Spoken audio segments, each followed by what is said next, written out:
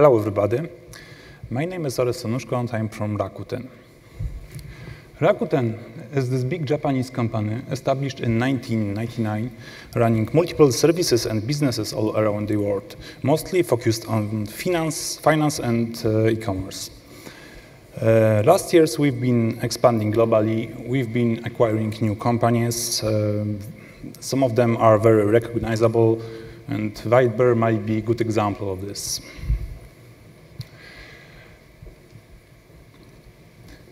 RPaaS is uh, platform as service for our internal users, for our engineers.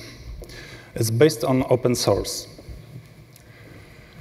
We already presented this platform at CF Summit in 2013. At that time, we just forked the platform because we needed some additional features which were required in Rakuten. Some of them were implemented uh, in upstream in the years. Some of others were never accepted. But uh, in order to stick with our usage case, we had to keep diverging from the upstream. This allowed us to reach pretty sizable deployment. At a certain point in time, we had probably the second biggest Cloud Foundry deployment in the world. All of this was uh, being run uh, by a team of seven engineers dealing with a uh, wide variety of tasks like uh, architecture, design and planning, operations, uh, user support, security, and so on. We learned a lot of things during these years. First important thing we noticed is don't try to make everything fit in. Sometimes application has unique requirements, sometimes for good reasons, but most often not. Of course, you need to support your users to move to your platform, but uh, not at all costs. It's because it's an application that needs to be adapted to the platform, no other way around. Having a corporate champion backing you up can can allow you to um, make sure that things are going into the right directions. Accept from the very beginning that not every application fits your platform. Otherwise, you might end up forking. And forking is a very bad idea. Please never do that. There is too much momentum, too many values coming from the community. Uh, if you want to introduce a feature, try to upstream it first. If you can't, stalk PMs until they agree. If it still doesn't work, then try to build it either on top, either on the side.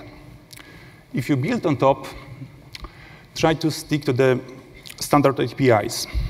Try to minimize the number of uh, connecting points between your component and Cloud Foundry. Try to keep all of those as neat and lean as possible.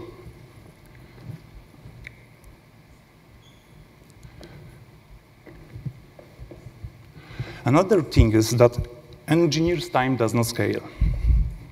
Every manual step that you leave behind you is going to come back and bite you usually at the very, very, at the very worst possible moment. Um, when you uh, create your operational uh, tooling uh, system, avoid shortcuts. Those lead to snowflakes, and snowflakes are really bad. Not effective, um, not effective integration with your um, provisioning uh, Component can uh, cause even simple updates like uh, upgrading CPU, memory, um, or just uh, storage to take like weeks instead of hours. This also applies to your monitoring system. When you create it, try to build it in a such a way that you can um, access all required logs and metrics from one well-defined place, from where you can uh, correlate events fast. Otherwise, you will spend a lot of time on going to particular VMs and searching for possible root causes, uh, for possible error causes. Another thing is that uh, whatever works for a few hundred VMs doesn't necessarily has to work for 5,000 VMs. So build your monitoring system in such a way that you can swap in, swap out components quickly. Uh, so you should be able to um, scale it along with your Cloud Foundry deployment. And uh, kind of funny thing, don't share your command view console with your users, otherwise you might lose visibility when you need it the most. That's uh, something what uh, happened to us once. Assuming that your, that, assuming that your um, system is going to work flawlessly all the time without any interruptions, without any errors, is a mistake. It's a mistake at, at any level because uh, if you take a reasonable long time window, uh, you will notice that your system is slightly failing all the time. But at scale, things break daily. For example, we had that uh, log pipeline, which was built uh, based on the agent uh, with a smart assumption that logs are never going to be lost. But what happens uh, when a component at the very end of the pipeline starts misbehaving is you can end up with problems everywhere, even on your side. Um, by listening to me, you might be under impression that like we had a lot of problems with our platform.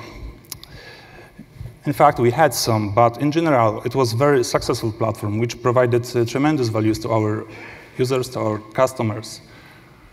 Uh, regardless of that, we were aware of the fact that we need to catch up with the upstream. So since uh, the beginning of 2015, we started uh, working on Cloud Foundry version 2, and hopefully we managed to uh, bring it into production uh, in the beginning of this year.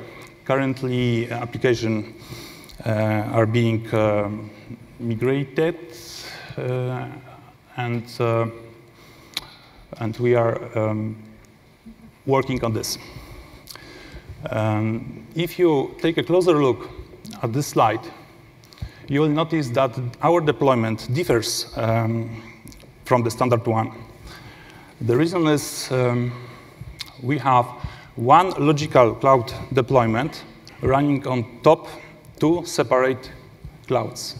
So we have VMware um, uh, VMware endpoint, uh, VMware BOSH with VMware, VMware CPI, which is responsible for providing um, persistent components like etcd, like um, Elasticsearch, mainly databases. And from the other hand, we have OpenStack, um, BOSH Director, which is responsible for um, providing stateless components, mainly um, DEAs, and routers. As a consequence of this, we have uh, two different uh, manifests. We target those BOSH directors like individually, and between those two manifests, we have some shared properties. The reason for this is, was uh, at the time uh, we were uh, designing this, uh, OpenStack didn't provide proper answers. there was some issues with Cinder. But at the time, after some time, it was fixed, so we probably would be able to move our current deployment to OpenStack. There is also one more special thing in our deployment. Most of uh, users, when they deploy their, um, their uh, Cloud Foundry instances, they uh, deploy separately three different environments like uh, staging, dev, and uh, prod. But for us, for a team of seven people, it was uh, a little bit too much. It was generating too much overhead. So we implemented all of those three environments, like uh, dev, staging, and prod, in one single Cloud Foundry deployment.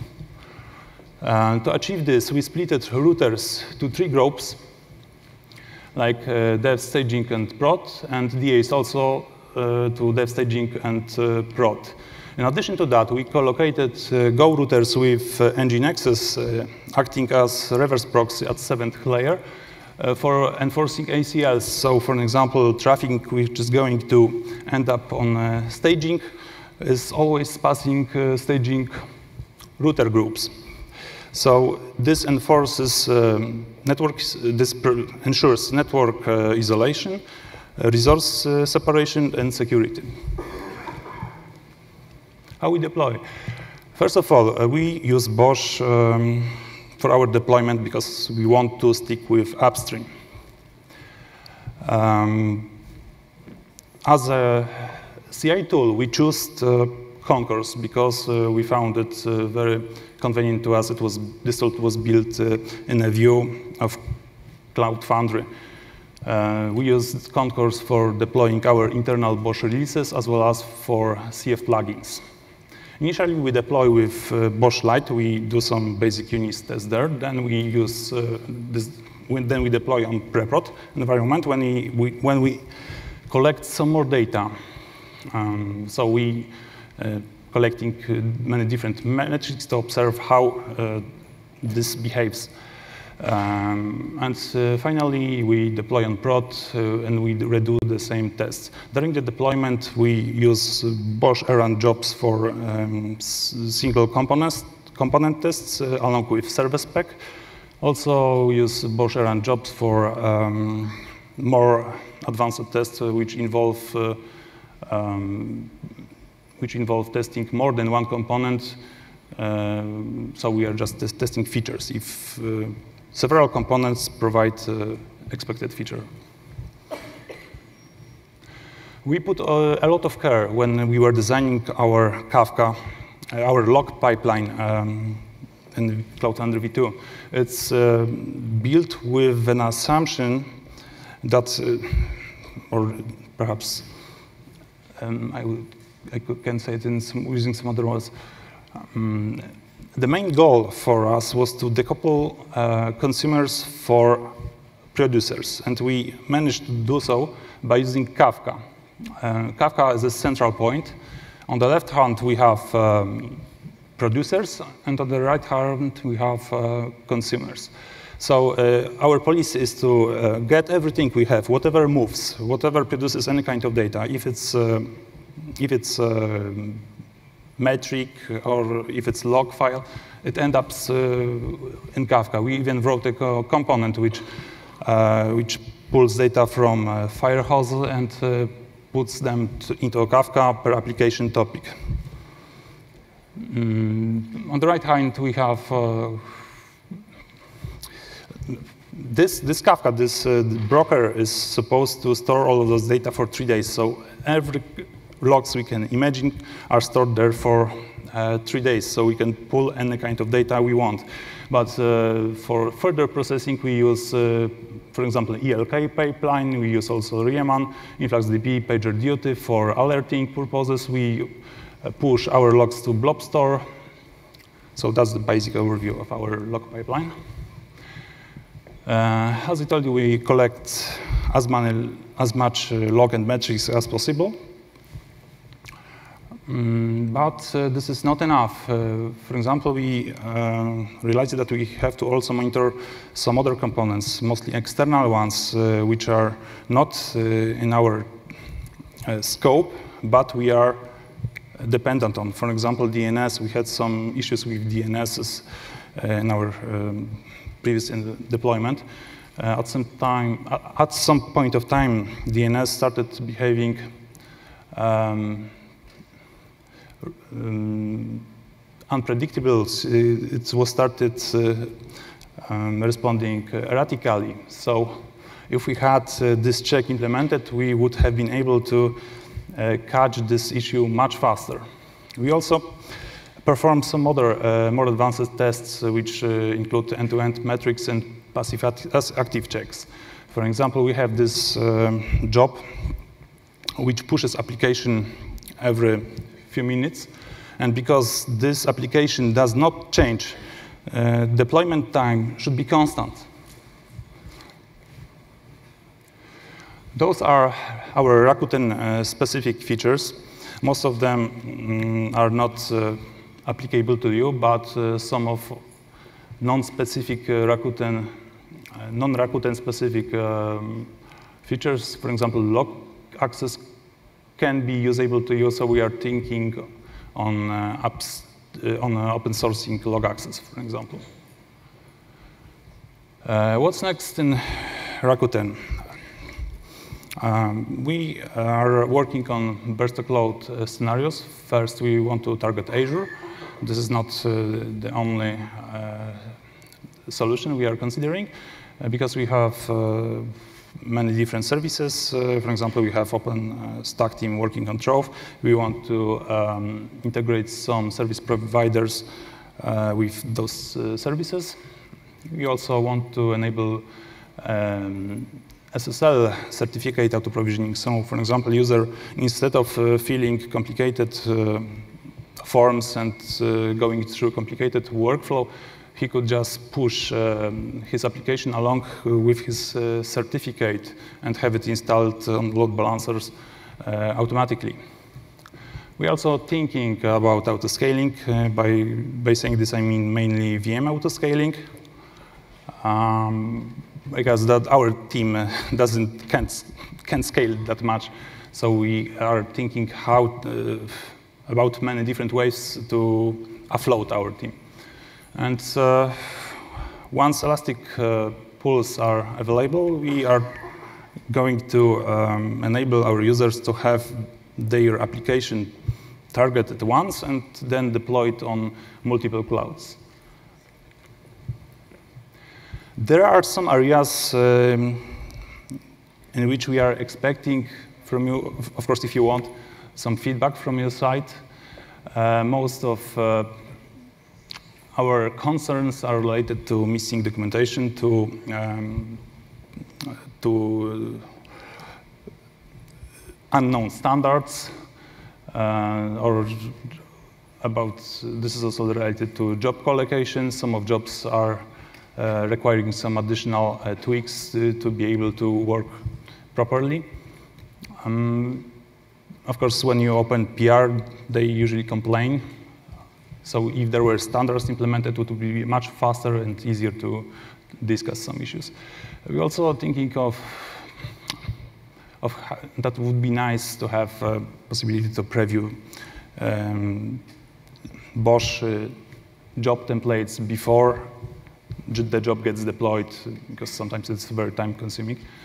Also, uh, some of our users complain about logs, that logs are multi-line, and we as uh, RPaaS team would like to uh, be able to notify our users uh, when reliably when they are losing logs, which sometimes happens. Um, we are also interested in hooks. Uh,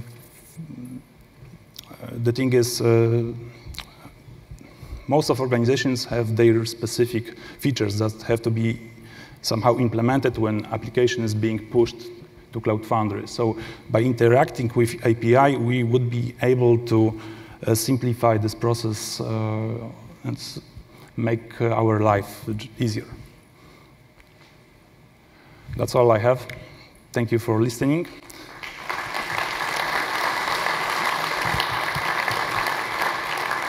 If you had any questions, feel free to drop me an email or just catch me later. I'm thinking I'm big enough to be easily found somewhere here.